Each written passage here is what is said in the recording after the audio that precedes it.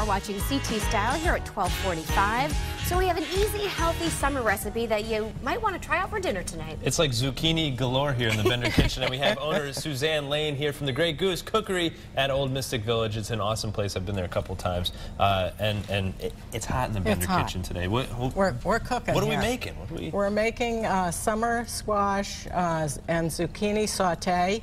And what we've done is we've turned the ordinary zucchini or yellow squash into noodles so that uh, the kids can enjoy them and it's a different way to present your vegetable They're getting their veggies, and there's really and she has a lot of tools for the here. Do you see all adults. these- So I have Yeah, um, gadgets, lots of gadgets. the table spiralizer, I have the handheld spiralizer, uh, I have the julienne uh, peeler. You How about this do- for tomatoes? What's and the then deal with this this thing? slices your tomatoes. Yeah? Do it in one shot, right? This is hold, pretty cool. Hold this with your right hand. Okay, like this. Yeah. Seems like a bad science And science then experiment. slide that down. Right here. Yeah. You sure? Yeah.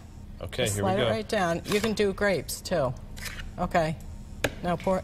Oh, oh, oh, man, you know this is why I'm a TV host Oh, not That a is chef. great. I Is he a good sous chef? No, or I'm that not was sure horrible. about That was the worst performance. you performance. slice the tomatoes, though, That was bad. bottom Okay. line. Well, we have a few here to use. So, so, Yep. so anyway, let's get to the Okay. recipe. You, you already have some time. So it's a simple recipe and it's really healthy and it's great for the kids. So we're going to put our onions in the pot and um, some chicken stock. nice. Look at that. Yeah. And, and is this a fan favorite on the menu? This is a great, um, great recipe. Yes, it is. Uh, it's great for losing weight too. Do you cook this in your cooking classes? We do this in the classes and I do this at home and it helped me lose a lot of weight. Oh, good. And then the tomatoes go on top. And so much nice color in there. You, Yeah. you usually know it's a healthy dish if That's right, The a rainbow of color. And so many zucchinis in your garden this time just of year. uh, let that simmer like that for a little bit. nice. And and what else can people experience when they head on over to Gray Goose? When they head over to Gray Goose, um, especially this time of year, there's so many vegetables and fruits coming out of the garden. Um, they can come over and find all these neat tools and um, learn techniques to prepare all those foods. And we have a knowledgeable staff that can guide them and make sure that they can figure out how to get their task done There you go. successfully. It kind of makes cooking more fun when you think about it. When you have these fun tools, it makes it more fun for the family. Yeah. You can get into it, and, and it feels like a family experience.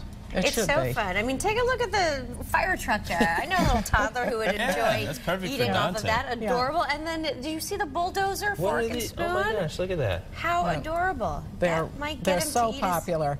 Even the tongs, the little hand So tongs, cute. are really a lot of fun to serve the food for the kids. So let's pop So that's this up. just it. All it has Yeah, to do is so saute a little just bit, and we saute a have the finished bit. product Finished right product. And there. the finished product We do is a little here. cheese on Put top? a little cheese on top. Oh, yeah, look oh, at that. You, you do have those extra skills there. Well, thank you. I've, I've He been is very practicing my talented, cheese Suzanne, all isn't he? morning long. All right, make sure you guys and head then on we'll put a little parsley on there. There it Even is. better. Nice. Yeah. Beautiful summer dish. Suzanne, thanks so much for coming here on CT Style. It's my pleasure. Thank you so much. Awesome. All right, stay with us. More